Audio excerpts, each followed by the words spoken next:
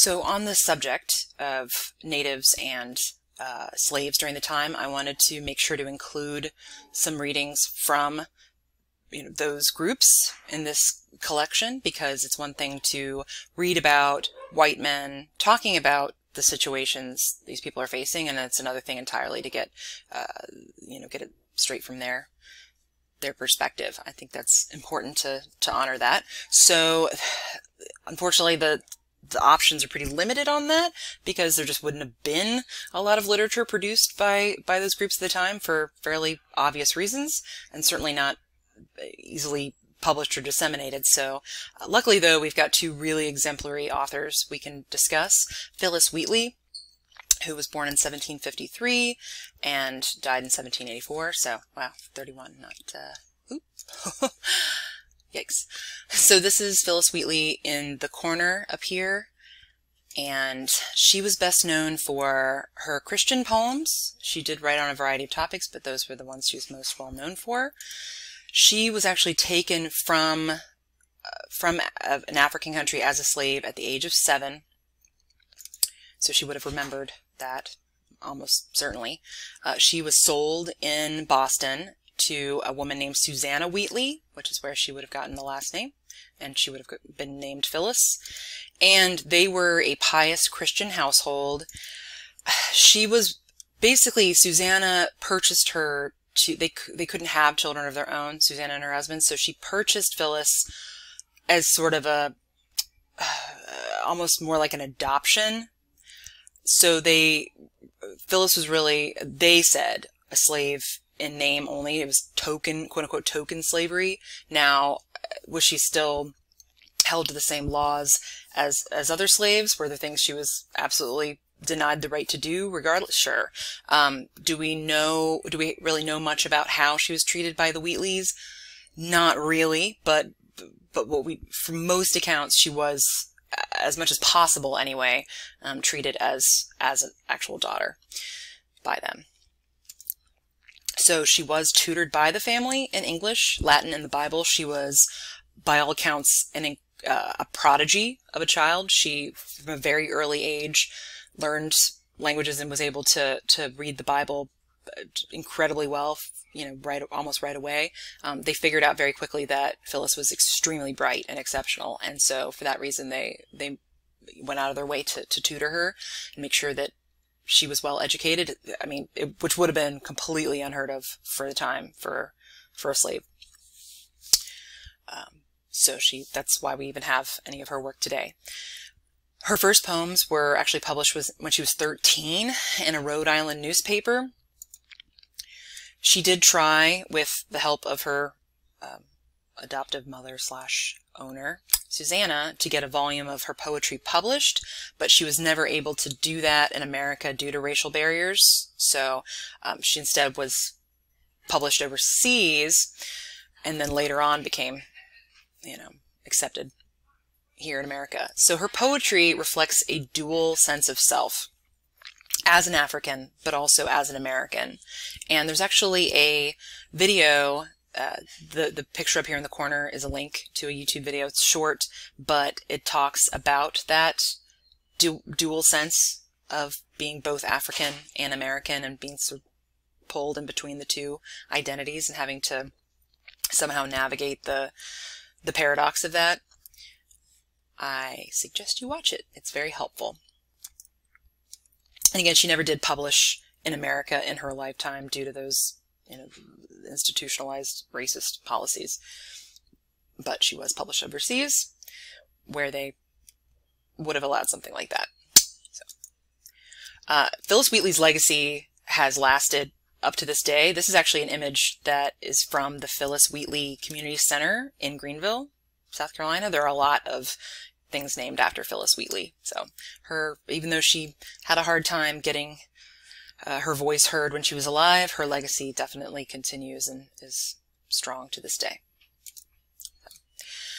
Samson Occom, again, another sort of minority voice, and you've got a, a longer reading from, from him with Phillis Wheatley. It's just a poem, but for Samson Occom, there's uh, two things. There's his autobiography, basically, story of his life, and also a sermon that he gave at the execution of one of his uh, fellow Indians for the murder of a white man.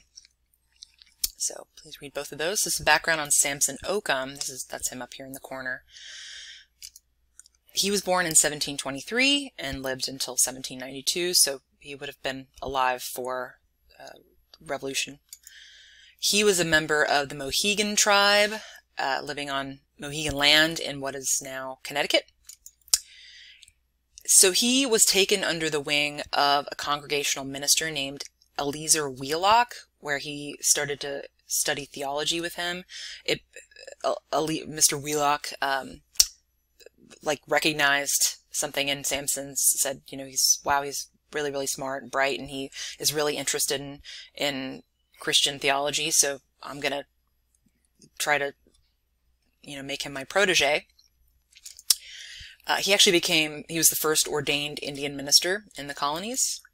And he briefly attended Yale uh, before going on to become a schoolmaster and a Presbyterian minister. And he served as a missionary to various Indian communities in New England and Long Island. He actually traveled to England to raise money for an Indian charity school that Wheelock was going to start. So he went all the way to England and uh, went around raising funds and talking to, to anyone who'd listen, you know, speaking at events and trying to raise money for this, this school. And then uh, Wheelock actually didn't use the money for that. He instead founded what is now Dartmouth College. And understandably, Occom was incredibly insulted by this. Uh, all of he was very disappointed. All of the work years of work that he put in in raising this money for what he thought was a very worthy cause. Wheelock didn't use it for that, and there's really nothing that Occom could do about it. And but he ended up cutting ties with Wheelock forever after that, and kind of going his own way. And so he ended up founding several settlements, including what uh, ultimately became known as the Brothertown Indians. So his his legacy was pretty far-reaching, but uh, which is what you know enables him to kind of write this autobiography and and give a voice to his experiences. Uh, it's it, it can be hard to read at times because of all of the the things that he had to go through, having to work ten times as hard as as a white man for a fraction of the salary, for instance, things like that constantly throughout the autobiography. There's just so much struggle and toil on on Occom's part, and it's it uh it, it can be a little depressing to read, but it's important to know you know what conditions were like and what what the status quo was like for someone even as exceptional as him during that time. And yeah, he was actually the first Native American to publish writings in English, so he's pretty well known for that. All right, and I'm stuck. Sorry about that.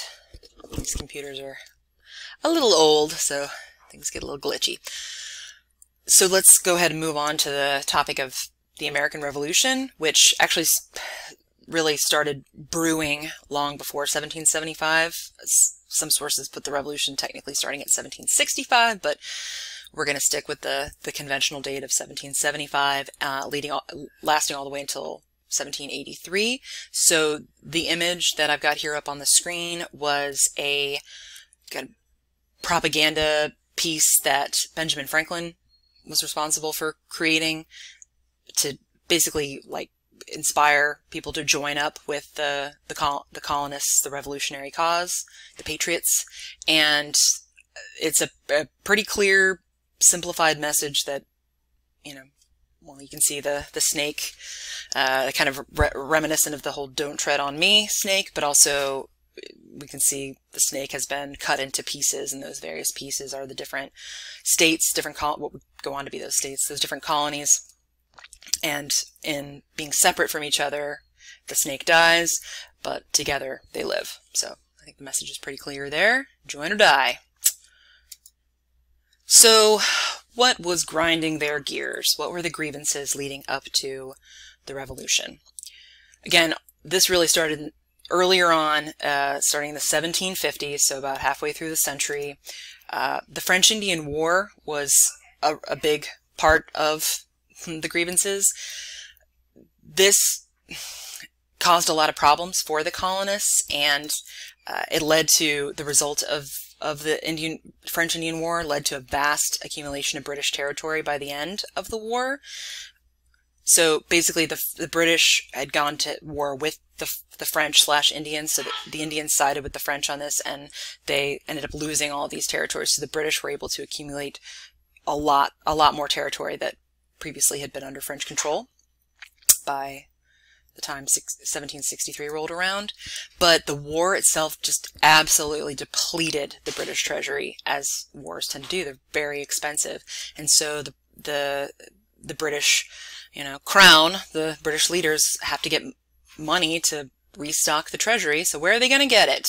Um, they're going to tax the heck out of the colonists. Well, colonists have money and they've got stuff over there. Let's, that we control them. So let's just tax, tax, tax away to um, put the coffers back in order. So there were so many of them, but it led to a bunch of different acts on the part of the, the Patriots to to resist. So there was the Sugar Act of 1763, which basically was a boycott of all imported British goods, like stop buying British goods to, to show your displeasure at having our sugar taxed. There was the Stamp Act of 1765, which basically required colonists to pay a tax on anything, like every single piece of printed paper that they used, which we talked about, you know, the printing press being invented. So there's lots of paper being being used for political reasons and for, you know, all kinds of other reasons. So they were going to tax every single piece of paper, and they even taxed playing cards. So that just really rubbed them the wrong way. And so this led to a de declaration of rights and grievances, which declared that the taxes imposed on these on the colonists were not done with their consent and were therefore unconstitutional.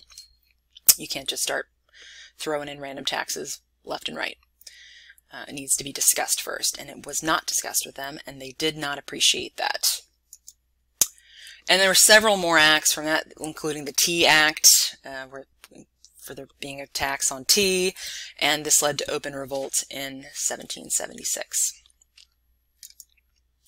So again, you know, history kind of portrays the revolution as being something that everybody was singularly for. Um, you know, and if you weren't, then you were, uh, you know, a royalist traitor kind of thing. But it, it really wasn't that simple. There was quite a bit of debate over revolution. It took quite a bit of doing to get to that point, and not everybody was super confident about it going forward. So a lot of it had to do with where you lived. So geography and, and demographics really determined attitude toward the revolution. So in the north, of course, the the position was no tax no taxation without representation. We are being taxed, but our needs are not being represented. We don't we aren't allowed to have representatives, you know, in the House of Commons and Parliament back in back in uh, uh, Britain. So all these decisions are being made without our without our consent without any kind of representation. It's just not fair. The South, on the other hand, were, had different concerns. So because it's you know again plantations the the white members of the society had a their their biggest concern was just maintaining control over huge slave populations which vastly outnumbered white citizens. They were that that was their primary concern. And so they were busy fo busy focusing on that and the idea of of going to war just they're like we've got our own problems. Sorry. Um, of course non-whites in the south they we're faced with the question of, all right, who do we side with? Um, because, you know, is it going to lead to emancipation or is it going to lead to our continued enslavement? So we really need to choose wisely. And the British did try to turn the tide by offering hmm, sort of emancipation to any slaves that side, sided with them, which that comes up in Thomas Paine's writings as being like, how dare they try to turn our own slaves against us? Dirty pool, old man. And then on the western frontier, they were just concerned, whites were just concerned about native uh, attacks. And so they did support revolution for that reason because um, they, again, were, they needed they wanted British control to, to rule out the day to protect them. And the natives just kind of stayed out of it. They were like, you know what, we're not, we tried siding with a war, you know, the whole thing last time, French Indian War, and that didn't go well. So we're just going to stay out of it this time.